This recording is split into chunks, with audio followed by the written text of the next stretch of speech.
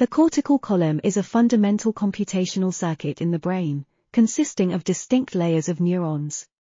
To determine the boundaries separating these layers, researchers must first identify the input layer, which is often difficult to do in vivo.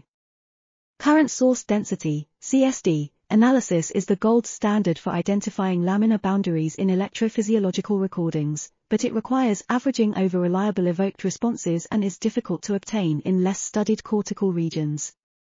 Researchers have developed a new technique based on linear array recordings that can quickly and accurately identify the input layer in multiple cortical areas in two different species.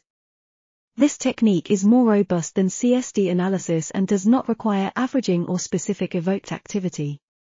It can also be used to validate CSD measurements or to estimate laminar boundaries when other methods are impractical. This article was authored by Zachary W. Davis, Nicholas M. Dotson, Tom P. Franken, and others. We are RTCL.TV, links in the description below.